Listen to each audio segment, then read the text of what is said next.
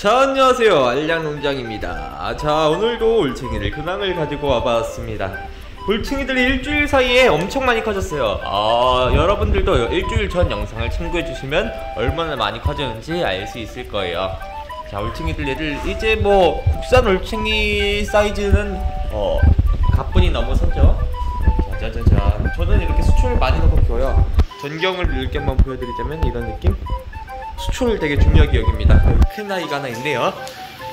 어, 도망갔다.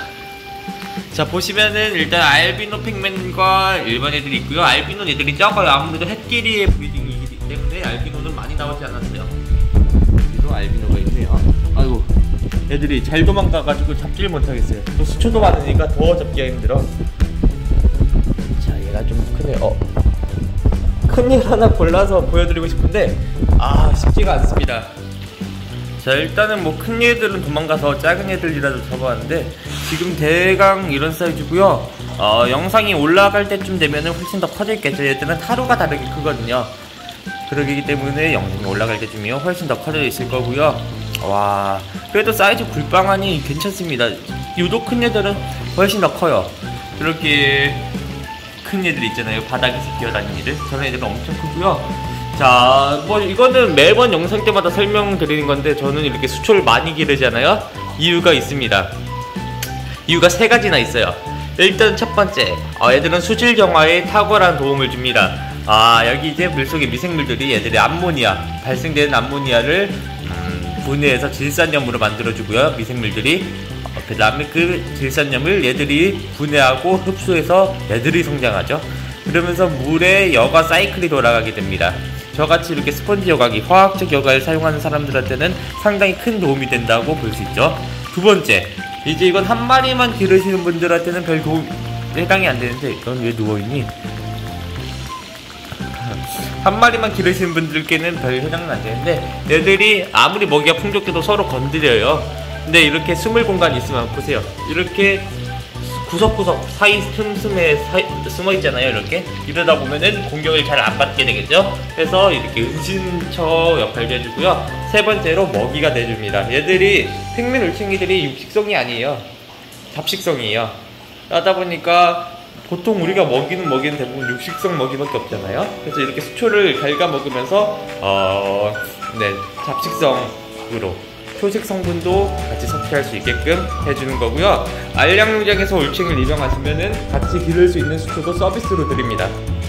자 그리고 얘기 분양 얘기 나온 김에 어, 알려드리자면 제가 저번 주에 한 마리당 2만 원에 분양한다고 했잖아요.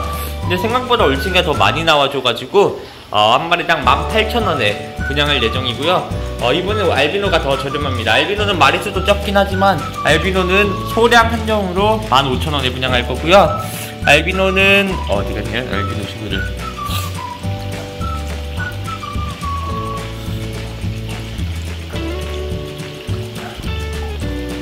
수초가 많아가지고 제가 잡는 것도 일입니다.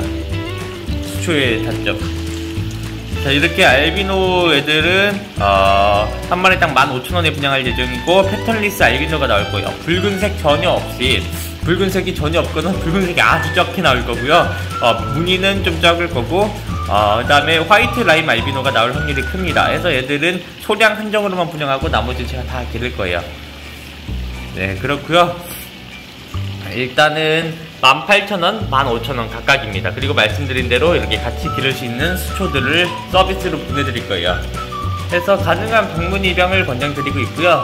어, 지금은 뭐 날이 좋아서 어디서, 어디서든지 안전하게 받으실 수 있으니까 어, 괜찮을 것 같습니다. 하고 그냥 나갈 때쯤 되면은 아주 튼튼하게 잘 자랄 거예요. 얘들 뭐 입양하고 싶으시면은 알령농장 어, 영상 정보 칸에 있는 알령농장 개구리 분양 사이트 참고해 주시면 됩니다. 자 일단은 올챙이들은 지금 딱히 먹이 급여를 할 상황도 아니라서 어, 보여드릴 게 적네요. 일단 여기 보시면은 어, 이게 실지렁이라 해서 먹이에요. 이거는 24시간 항상 있는 거다 보니까 얘들이 먹이 반응이 썩 좋지는 않습니다. 그래서 따로 찍기가 애매하죠. 그 다음에 저기 구석에 이거 살짝 푸르스름 하면서 검둥검둥한 거 수초입니다. 얘들이 다 뜯어 먹어서 족골이 된 거예요. 얘들이 생각보다 수초를 많이 키우 많이 먹습니다. 여러분들도 이렇게 여기서 입양해서 수초랑 올챙이랑 같이 키우다 보면은 느낄 거예요. 수초를 생각보다 잘 먹어요. 자 일단은 부모 개체 한번 설명해 드리러 넘어가 보죠. 자 부모 개체는 저번 주에 보여드렸다시피 어, 이렇게 world best 사무라이 blue 팩맨과 어, blue no line 팩맨입니다. 저번 주보단 발색이 좀 더 살아났을 거예요. 저번 주에는 산란 직후라서 좀 컨디션이 안 좋았을 텐데 어, 이번에는 어, 그래도 컨디션이 좋아서 발색이 상당히 올라온 상태죠. 자 그렇습니다. 이렇게 이쁜 애를 breeding 개체다 보니까 아무래도 patternless blue 애들이 많이 나오겠죠? 하지만 생각보다 예쁜 애들이 안 나올 수도 있습니다. 언제나 이거 유의하셔서 입양해 주시면 좋겠습니다.